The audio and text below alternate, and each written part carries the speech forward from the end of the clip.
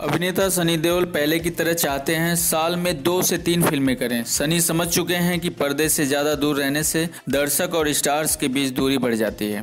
इसलिए अब वह फिर से ज़्यादा फ़िल्मों में दिखना चाहते हैं। जी, आपको बता दें, सनी जब मुंबई के एक सिनेमा हॉल में गए, तब उन्होंने कहा कि अब मैं ज़्यादा फ़िल्में करूँगा। कोशिश करूँगा कि साल में दो से तीन फ़िल्में करूँ, क्योंकि अगर आप ज़्यादा दिन पर्दे से दूर रहते हैं तो दर्शक भूलने लगते हैं। आपको बता दें कि 80 और 90 के दशक के सबसे बड़े एक्शन हीरो सनी देओल करीब 10 सालों से इक्का दुक्का फ़िल्मों में कभी कभी नज़र आ जाते हैं, और उनकी ज़्यादातर फ़िल्में बॉक्स ऑफ़िस पर नाकाम हो जा रही हैं। मगर घायल वंश अगेन से जिस तरह की प्रतिक्रिया दर्शकों से मिली है, सनी समझ चुके हैं अब भी उनके फैंस की संख्या बढ़ी है और शायद यही वजह है कि वह दोबारा सक्रिय होना चाहते हैं। न्यूज़ रूम से फिल्मी अड्डा की रिपोर्ट।